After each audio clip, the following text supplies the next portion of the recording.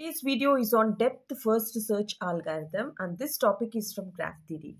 So this algorithm helps in constructing a spanning tree.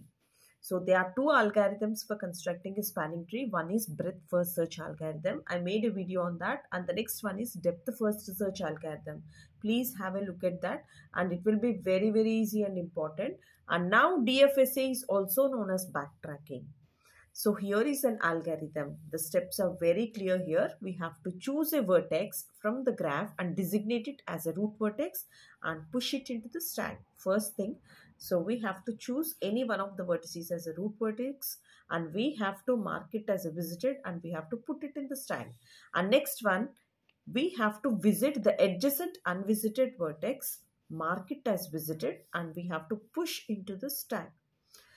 If there is no unvisited vertex, then pop the top element of the stack, take backtracking.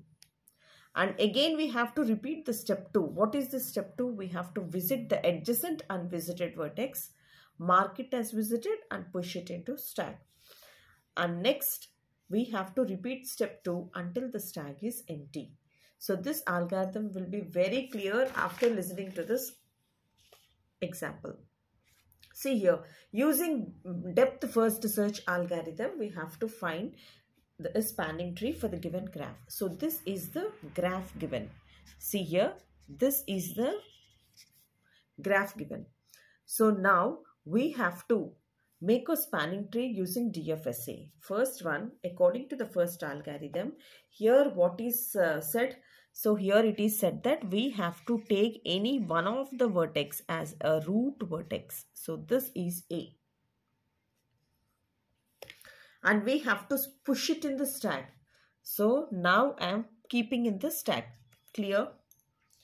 And the next thing here is again we have to take we have to visit the adjacent vertices. So here one is B and one is D. You can select any one of them. So now I am selecting this one B. I am selecting this B as a vertex which is visited and if I visit this one so I have to push it in the stack. Clear? And the next one after that B I am visiting this is C. See here after visiting the C, so I have to push it in the stack. And next one from C, there are two children, three children that is E, F and G. Now I am selecting this left child. So this is E. If I visit any vertex, adjacent unvisited vertex, I have to push it into stack. Clear? And next from, from E, they are two adjacent unvisited vertices. So one is D and one is F. So I am visiting this left child that is D. If I visit any vertex, we have to push it into the stack.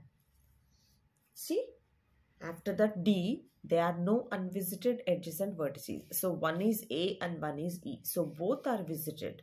From D, there is no chance to go anywhere.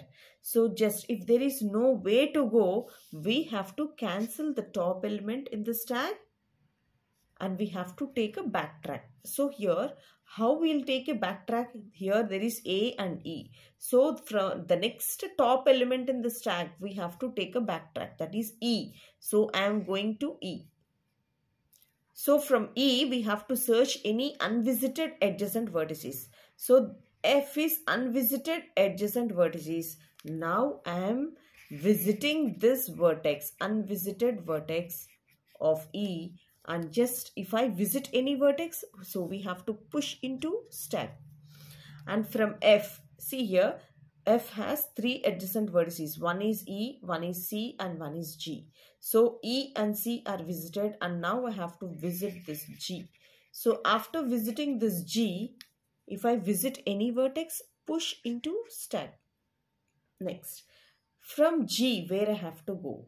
So from G, there is no route because all are visited. There are no unvisited adjacent vertices.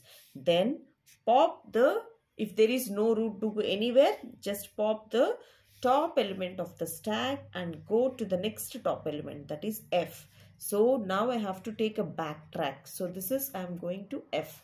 So from F also there are no unvisited vertices. If there are no unvisited vertices, there is no route to go. Just pop and go to the top element of the stack that is E. So after popping, we have to take a backtrack E. So from E also there are no unvisited vertices. Every vertex is visited. Then pop it and just go to C. So here, if I take a backtrack like this, a C. From C also all are visited. There are no unvisited adjacent vertices. Just pop it and take backtracking. So the next top element in the stack is B. So I have to go to B. So if I go to B here and search, are there any adjacent unvisited vertices? No. So there is no route to go anywhere. Just pop and go to the top element A. So A is also visited all the adjacent vertices are visited if there is no way just pop it so the whole stack is empty so this gives you that is from a we have to start this gives you the stack that is a b c e d f g so these vertices forms a spanning tree. So this is how we have to uh, write if, we, if it asks for a short answer and if it asked for an essay question just please make a note and it will be very clear. So find the spanning tree for the given graph using this DFSC. So first one, select vertex. So select any vertex here. So which vertex I'm going to select here is A. So now I'm going to select A vertex and now I'm going to push it in the stack. So here is the stack. I'm pushing in the stack. So I have to mark it as a visited one and and push A into the stack. The first step which you have to write is next step is visit the adjacent unvisited vertices of A. So what is the unvisited vertex here? A and push the newly visited. So the newly visited one is B here. So the B am going to push it in the stack. So this is B. I am going into I am going to push this B into the stack. Clear? And step 3. From B, visit any adjacent unvisited vertices of B. So from B, what is the unvisited vertices? C. So this is C. And uh, now push the newly vertex C into the stack. So this is C I have visited and now I am pushing into stack. And the fourth step here is from C, visit any unvisited um, Visit any adjacent unvisited vertex of C. From C, I am choosing this E.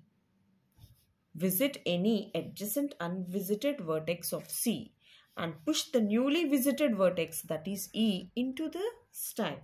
See here, now I have visited this E and after visiting I have to push it into this one stack. And next one, step uh, this one. Visit any unvi adjacent unvisited vertex of E. From E see here we have to visit any unvisited vertex. So I am choosing this D and now see here D. Now I am pushing this D into the stack see this D is visited now. And after D just is there any way is there any way to go from D See here, visit any ad, uh, adjacent unvisited vertices of uh, D. So from D, we have to visit any unvisited vertex. So there is no vertex from D to visit. Now just pop it. Then see here, we have to pop D. So we have to then pop D from this stack. Clear? After popping D, so we have to take a backtrack. So backtracking should be done. So from D, I have to take a backtrack to E. From E, so visit any adjacent unvisited vertex of E. From E, what is the unvisited vertex? And push this vertex. So push F into the stack. So now, see here, I am visiting this F and I am pushing it into the stack. So here I am pushing F into the stack. And eighth step here is visit any adjacent unvisited vertex of f. So what is the unvisited vertex of f? This is g and now push g into the stack. So now I have visited this g. Clear?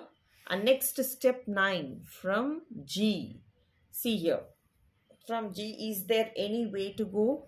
Any unvisited vertex is there? No. From G there are no vertices. So there are no vertices. Then pop this G. Now I am going to pop this G. And next one step 10 see here from G the top element here is F. Now visit any un unvisited vertices of F there are no unvisited vertices of F now just pop F just I'm popping this F and the next step here we have to take is E we have to select. Visit any adjacent vertices of E. So from E there are no any unvisited adjacent vertices. Now just pop E. Just I'm popping this E. And in the next step here So from the top element, we have to visit the C. C. I am just from the top element I have to visit C visit any unvisited vertices of C so from C there are no unvisited vertices then pop C so this is C and next from C the top element is B. From B visit any unvisited vertices of B from B there are no unvisited vertices then just pop B so just pop this B. And next one from B the top element is A. Now see here visit any adjacent unvisited vertices of A. There are no unvisited vertices from A and therefore just pop A. Just pop A. So here the stack is empty. So here each and every element is from the stack is empty. Therefore the stack order here is this is A, B, see here, A, B, C and the next thing here is E, next D, this is F and G. So these are the vertices which gives you a spanning tree. So this is how this is how it helps in uh, constructing a spanning tree from DFSA. Hope you all guys understand this is the most important. I took a lot of time to construct this one. Each and every step if you write in the uh, examination, you'll get a good score. And thank you so much for watching. I gave you a clear-cut idea. Whenever you visit any vertex, you just push it into the stack. And whenever you don't find any route to go anywhere deep into the graph, just pop it and just take backtracking. And next search the top element in the stack. And next visit the vertex mark it as a visited vertex and just push it into the stack. If you find any route to go anywhere push it in the stack. If you don't find any route to go just pop it and just take backtracking. And again repeat the same process until the stack is empty and this is nothing but DFSA. Thank you so much for watching. If you really like and understand this concept, you can clearly do any problem by your own and please pass it on to your friends. If you really like take time to raise your thumb pass and subscribe to this channel. Thank you